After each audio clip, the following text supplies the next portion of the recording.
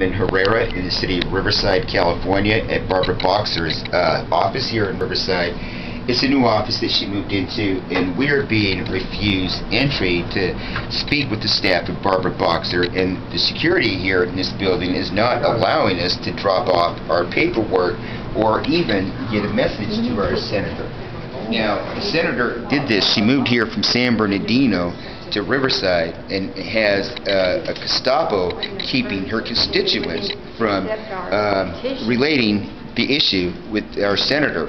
And we are adamantly against the tyranny of Barbara Boxer and also the hiding and the circumventing of democracy, the voice, the will, and the mandate of we the people. We are demanding that somebody take our paperwork right this second in the city of Riverside and hand deliver it to Barbara Boxer. This is an outrage that America is uh, democracy is broken in America. No.